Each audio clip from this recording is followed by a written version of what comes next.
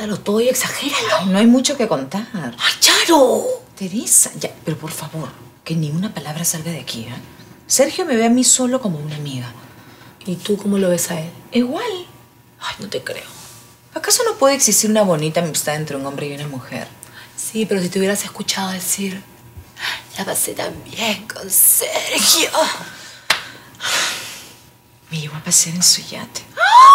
¿Tiene un yate? ¡Ay, hermoso! Yo nunca había subido a uno, me dio un mareo horrible. Y él se aprovechó de la situación. No, por favor, es un caballero. Un caballero sin compromiso, solterito. Él es un hombre distinto. Es muy respetuoso, es, es tan sensible, Teres. No sé, siempre tiene la palabra adecuada para hacerte sentir bien, segura y, confortable. Tiene mundo. Es como que, no sé, su voz te, te transporta a lugares lejanos, a la África, a la India. Y tiene yate y tiene plata, que es una de las cosas más importantes. Ay, para mí no. Bueno, ¿y el coqui? Nada que ver, son dos opuestos. Sí, Charo. Pero entonces el Sergio sí te mueve el piso. Teresa, ¿en qué idioma te tengo que decir que somos simplemente amigos? Charo, la palo seco ya se fue. Ella era el obstáculo. Ahora tienes el camino libre. Ay, por favor, contigo no se puede, ya. Me voy. Así que estuviste paseando en yate.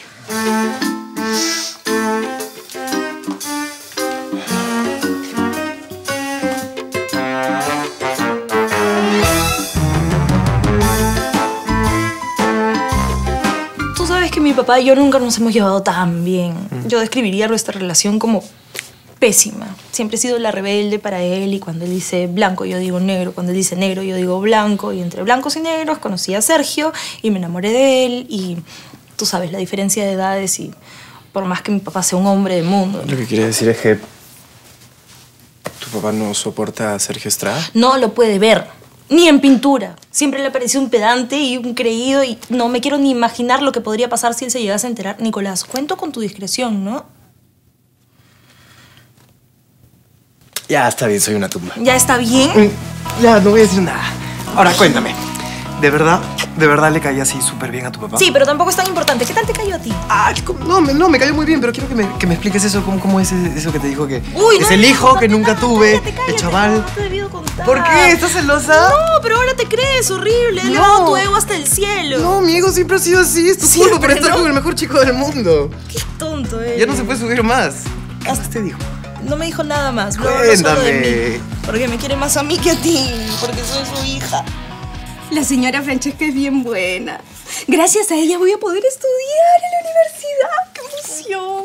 Ay, cuando mi tía Purita se entere, va a saltar de alegría igual que mi mamá. Bueno, eso de saltar es un decir, ¿no? Porque con las justas pueden caminar, pero... ¿Y sabes cómo le voy a poner a mi nido?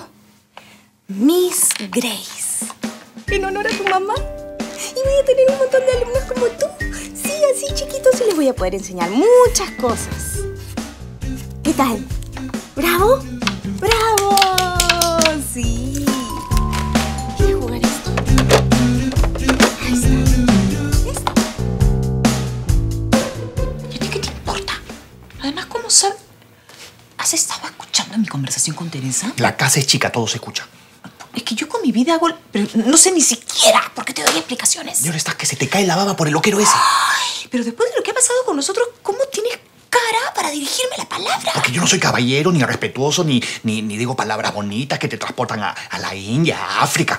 Guachafa. Infeliz. Bueno, el infeliz deja la guachafa sola. Y seguro también te tomaste tu selfie. ¡No te soporto!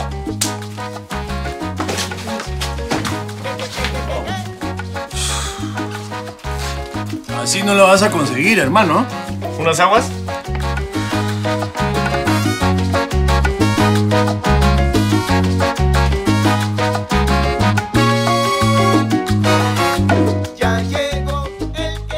¿Le mandaron flores a Teresita? Y solo porque el banco rechazó su tarjeta de crédito. Qué buen detalle el del banco, ¿no? Eh, No quiero echar más leña al fuego, pero en los años que yo he trabajado con Madame, jamás un banco le mandó flores. Es extraño, ¿no? ¿Estás seguro que Teresita eh, Viejo, no, no, no, no, eh, no, no desconfíes, no desconfíes. Si Teresa dice que, que le mandaron flores, le mandaron flores. Viejo, mi relación con Teresa está muy bien, nos llevamos muy bien. Bailamos el taxichurro dos veces al día. Mm.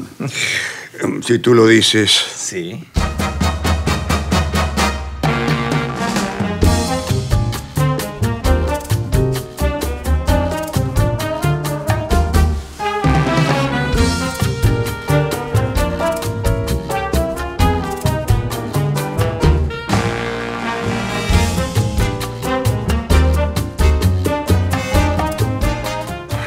Rindo, compadre. Imposible que compita contra un yate. Sí, pues mi más sentido pésame. ¿Con qué recursos Reyes se va a rendir tan pronto? ¿Pronto? Llevo meses detrás de Charo, Pepe, meses, y llega este farsante psicoloco con un yate y se la mete al bolsillo en una. Claro, si yo fuera flaca y me ponen un yate... Bueno, lo último que se pierde son las esperanzas, compadre.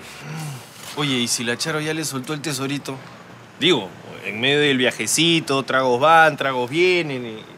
No dije nada. Muchachos, es de caballero reconocer el momento en el que hay que dar un paso al costado. Y ese momento llegó para mí. No, no, Salud. compadre, compadre, compadre. Isabela es loca, yo sé lo que te digo. No, no va a dejar al psicólogo así nomás, le va a hacer la guerra a la Charo.